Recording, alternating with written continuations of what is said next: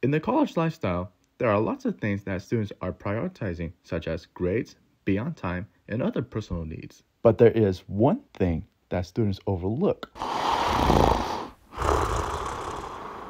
and that is sleep. So we actually get a lot of students that come in dealing with a multitude of issues when it comes to sleeping.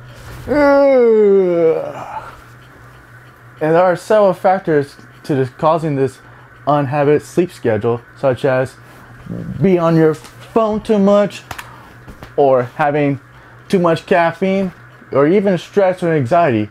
There is a solution to that problem. Uh, Talk about things like sleep hygiene.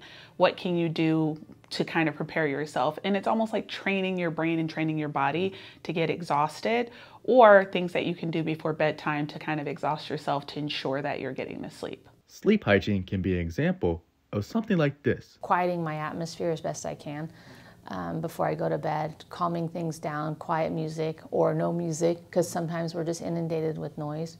So just no music, dimmer lights, no phone for 30 minutes, and it honestly helps kind of calm your mind down. The Student Health Center is ready for anyone to reach out to them.